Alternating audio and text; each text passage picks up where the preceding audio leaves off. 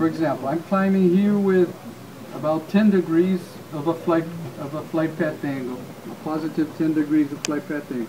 If I want to go to uh, 5 degrees of flight path angle, I'm going to hold the side stick, command the side stick here only with a finger, just to show the kind of inputs that uh, the pilot actually has to do. So I'll just push over a little bit and release. And if I feel that it's a little bit below 5, so I give another input in the other direction. And this is how we do the small inputs, and the rest, the fly-by-wire works. The pilot doesn't have to constantly be holding because it won't be leaving the, whatever he selected. And, and also the uh, capturing, capturing new new flight path angles are also are very simple and the airplane also goes through a certification process in which we have to demonstrate that, that it's um, free of PIOs and things like that and uh, undesired oscillations.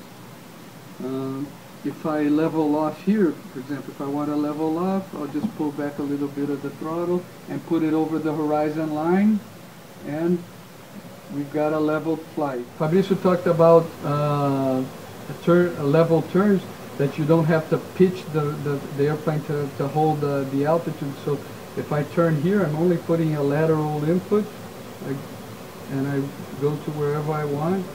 It's close to 30. It makes all the compensation. If I want to make any any small small adjustment, like I want wings level again, all I have to do is just small inputs, find what I want, and release it again. Um, the maximum roll that it does that is 33 degrees. If I go above 33 degrees, you see that the nose will start going Bank down. angle. See, Bank angle. it's going down. Bank Above 33 degrees, Bank I angle. have to pitch the nose to hold the level flight. Uh, and at any point, if I. I'm above 33 degrees, I release the side stick. Somebody asked about uh, if it's spring loaded to neutral, so it always, so all you have to do is always release the side stick. It's, it's really easy. Like for example, you want to turn back to level flight, you bring it really quick and release it.